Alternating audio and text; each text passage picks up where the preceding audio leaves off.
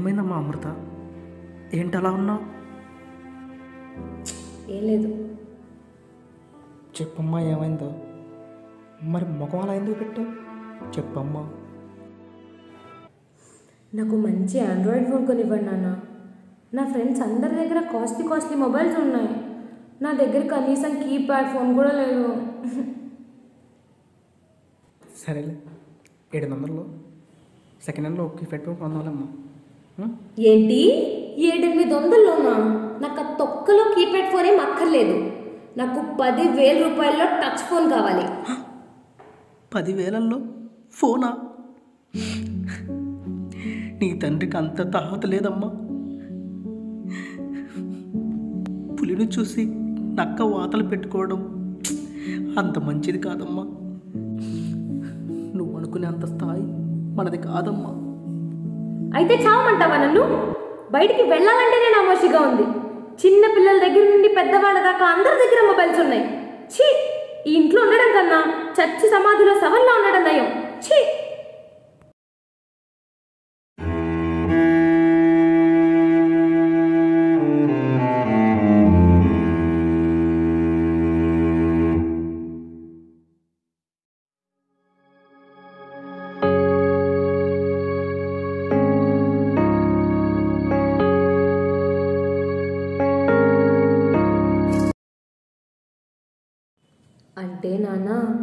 నాకు ఫోన్ అదేం వద్దు. మొన్న అడిగాను కదా. సారీ. అంటే ఫోన్ వల్ల కొందరికి చాలా అనర్థాలు జరిగాయంట. పైగా కాలుష్యం కూడా పెరిగిపోతుంది కదా. అవునమ్మా ఈ తండ్రిని అర్థం చేసుకున్నందుకు సంతోషం అమ్మా. నాన్న అది టీవీలో కొత్తగా గోల్డ్ నెక్లెస్ యాడ్ ఒకటి వస్తుంది కదా. అదే నాన్న మన హీరోయిన్ కీర్తి సురేష్ గారు నటించారు గోల్డ్ నెక్లెస్ యాడ్. మహానీయుడు సావిత్రిగా నటించారు. ఆమెగా? అవునన్నా. మరి నాకు ఆ నెక్లెస్ వేసుకోవాలని ఉంది వచ్చే పండక్కి నా కోసం కొనిస్తావా నాన్న? ఆ, అంటే అది ఇప్పుడు బుక్ చేస్తేనే అప్పటికి వస్తుందంట. ఓ ఆ, ఇంతకీ దాని ఖరీదు ఎంతమ్మా? ఆ, అది ఎనభై వేలు నాన్న.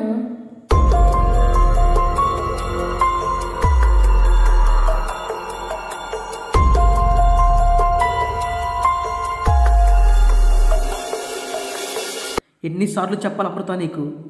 ఎన్నిసార్లు చెప్పినా నువ్వు వింతేనా? చెప్పా కదా. నాకు అంత తాహత లేదు అంత స్థాయి లేదని. కేవలం నీ తండ్రి నెలకి తొమ్మిది వేల రూపాయల జీతం సంపాదించే ఒక పేదవాడు మాత్రమే. నీకు అది అర్థం కావడం లేదు. నీ కోరికలు మాత్రం పెరుగుతూనే ఉన్నాయి. ఏం అడిగినా ఎప్పుడు పక్కన పెట్టేస్తుంటారు? అసలు బయట ప్రపంచం ఎలా ఉంది? నేను ఎలా ఉన్నానో మీకు అర్థమవుతుందా? చుట్టూ ఉన్న మనుషుల్ని చూడు ఎంత కాస్ట్లీగా బతుకుతున్నారు. నాకే ఏంటో ఈ గతి. ఈ ఇంట్లో పుట్టడమే నేను చేసిన తప్ప హా? అమ్మ అమృత నేనంత సంపాదించడం లేదమ్మా. నన్ను క్షమించు. మంచం ఉన్నతలోనే కాళ్ళు పుడుచుకొని పడుకోవాలమ్మా. నేనేం అడిగినా కొనివ్వు. నీ కూతురు చిన్న చిన్న కోరికలు కూడా తీర్చవు కానీ నీతులు మాత్రం నా చెవులు పగిలి చచ్చేలా చెప్తావు. నువ్వు ఇలాగే బతుకు నా చావు నేను చేస్తా. ఏ జన్మలో ఏ పాపం చేశాను? మీ కడుపును పుట్టాను. ఛీ!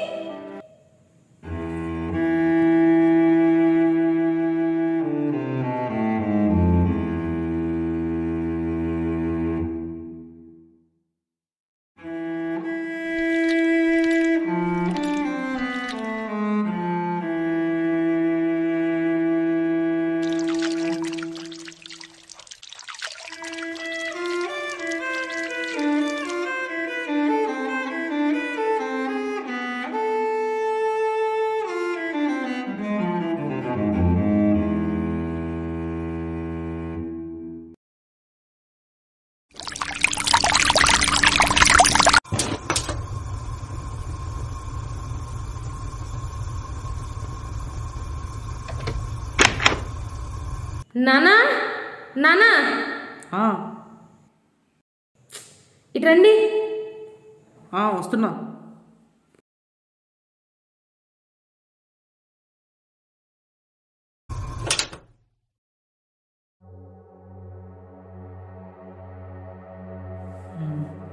చెప్పమ్మా అమృత.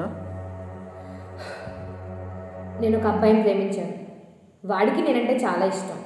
మేమిద్దరం పెళ్ళి చేసుకుందాం అనుకుంటున్నాం. అసలు ఇది నేను మీకు చెప్పాల్సిన అవసరం కూడా లేదు. కానీ కేవలం నేను నా కర్మ కాలిపోయి మీ కడుపును పుట్టాను కాబట్టి. అలాగే ఇంతకాలం నాకు తిండి పెట్టినందుకు. తిండి మాత్రమే పెట్టావు. అందుకే చెప్తున్నా. ఏం మాట్లాడుతున్నావు అమృత? నీకేమైనా పిచ్చి పట్టిందా? కన్న తండ్రితో ఇలాగైనా మాట్లాడేది? తండ్రి తండ్రి తండ్రి కన్న తండ్రి. ఏం తండ్రి నువ్వు? కనీసం కన్న కూతురు చిన్న చిన్న కోరికలు కూడా తీర్చలేని నువ్వు.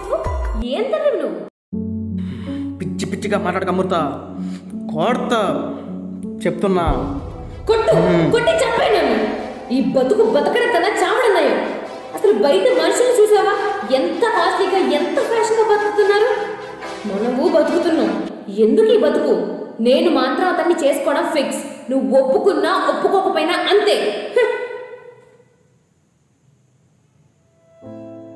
నా జీవితం నేను చూసుకున్నా.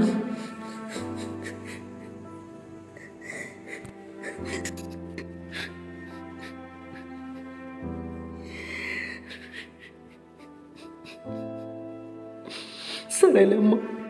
నాది ఇది ఏం బతుకమ్మా అసలు? నా లాటరీ డబ్బులతో ఫ్రిడ్జ్ టీవీ కొనగలేనిది. నాకు ఫోనో గోల్డో కొనడానికి నీకు ప్రాబ్లం ఏంటి? ఈ రోజుల్లో ఒక ఆడపిల్లకి నాలాంటి పేదవాడు పెళ్ళి చేయటం ఎంత కష్టమో తెలుసా?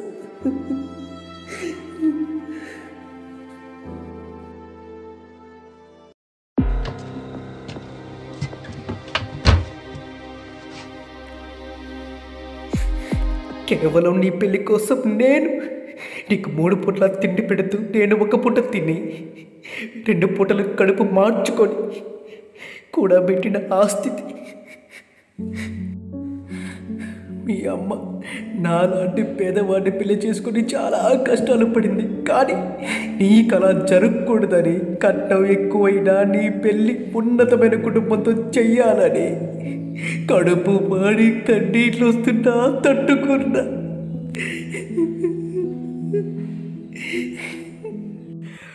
నువ్వు కోరుకున్న ఖరీదైన జీవితం ఫ్యాషన్ జీవితం నేను నీకు ఇచ్చుంటే నీ పెళ్ళి కోసం నా దగ్గర రూపాయి కూడా ఉండేది కాదమ్మా ఉండేది కాదు.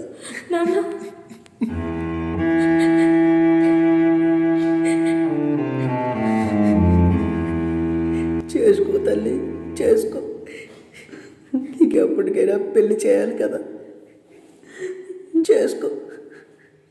సంతోషంగా ఉండు తల్లి సంతోషంగా ఉండు.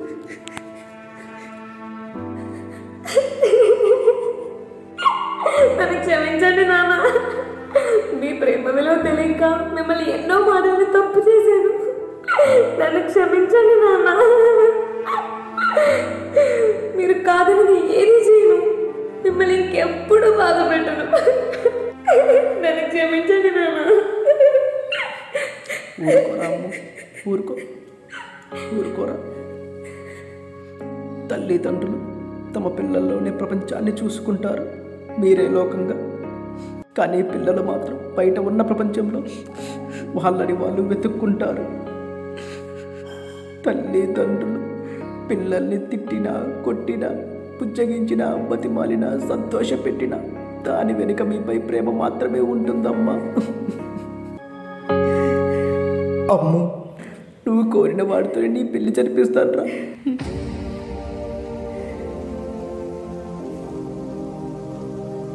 ఈ భూమి మీద మనల్ని మన అమ్మ నాన్న ప్రేమించినంత ఇదిగా ఇంకెవరో ప్రేమించలేరు.